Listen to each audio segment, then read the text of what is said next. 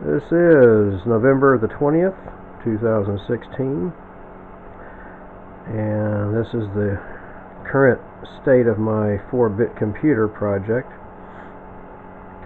I'm now starting to put panels together into the, the five-sided um, package.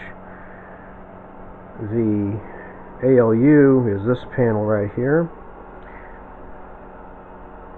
and I got a long way to go as far as adding other functions. Right now it only strictly adds. I will add 2's complement for uh, subtraction purposes very soon.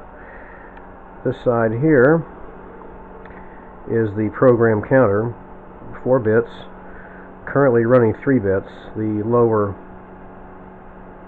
modules, um, the lower or the fourth bit is not functioning right now, having some problems with that but it shows that it is currently counting 0 to 7 with the uh, clock pulse itself on the left side of the display.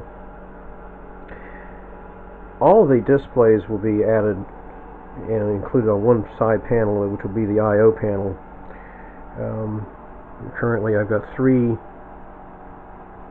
panels back there that are not being used. One will be the uh, input-output panel one will be the uh, state machine, um, basically all the control logic. And a third panel will be the uh, program ROM, which will all be uh, either transistor or uh, hardwired. I'm not sure which way I'm going to go with that. Probably hardwired using switches. So, there we go. That's where we are right now.